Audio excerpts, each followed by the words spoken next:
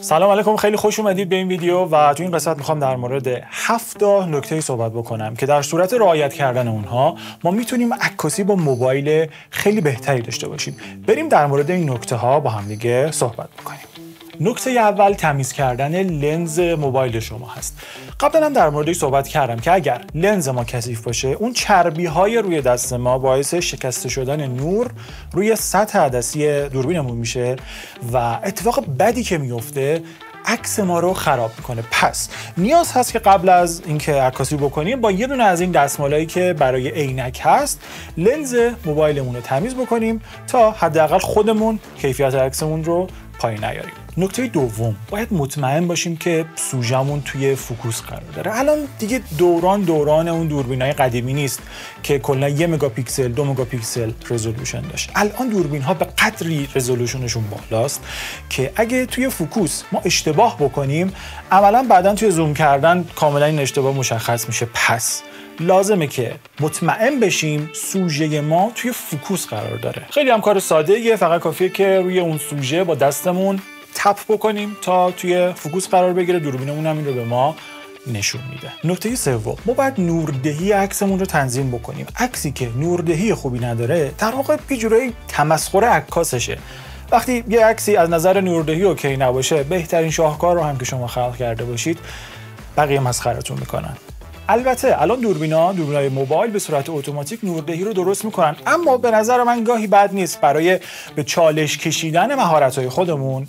بریم توی mode pro دوربین و به صورت دستی عکاسی بکنیم. یادمون نره که برای عکاس شدن ما باید حداقلش بتونیم روی exposure triangle یا مثلث نوردهی مسلط باشیم. ببینید موبایل های امروزی روی خودشون چندین و چند دوربین مختلف دارن و همین باعث میشه که به نظر من نکته بعدی که می‌خوام بگم شاید چندان مهم نباشه چون الان دیگه همه رعایتش می‌کنن.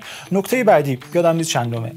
وقتی که داریم با دوربینمون عکاسی می‌کنیم دوربین موبایلمون باید زوم دیجیتال رو کلا فراموش بکنیم. به خاطر اینکه زوم دیجیتال عملا همون crop کردنه.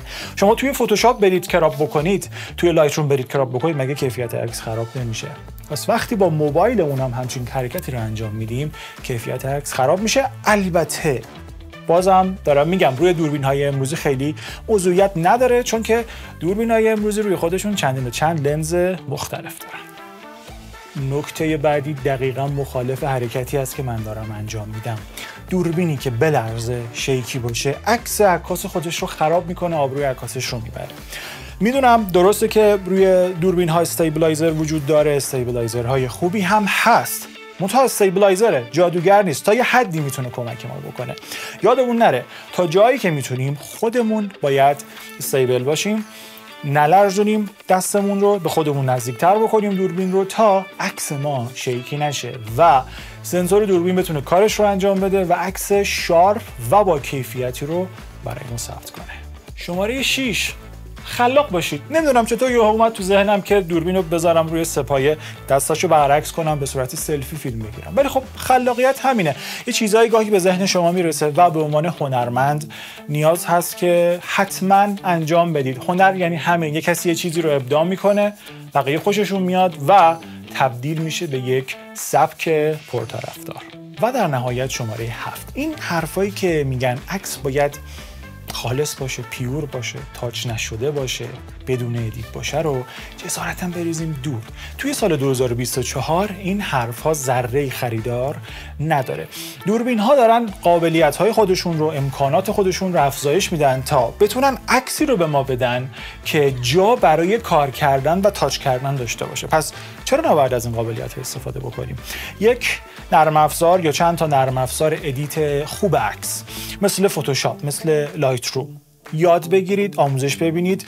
توصیه می‌کنم یاد بگیرید. اینکه نصب بکنید و چهار تا ابزارش رو استفاده بکنید این خیلی به درد نمی‌خوره. خیلی از این نرم افزارها همشون قابلیت های جالبی دارن که تا تو دلش نرید نمی‌تونید ازشون بهره مند بشید. باید حتما آموزش ببینید یه نرم افزاری رو و عکساتون رو تا جایی که جا دارن edit بکنید. بنابراین بهتون قول میدم با رعایت کردن این هفت نکته بتونیم عکسایی رو ثبت بکنیم که خیلی ها فکر کنن با یک دوربین سونی آلفا چند ده میلیونی اون رو ثبت کردیم. نه با یک گوشی موبایل معمولی. و یه چیزی رو می‌خوام بگم یادم نره.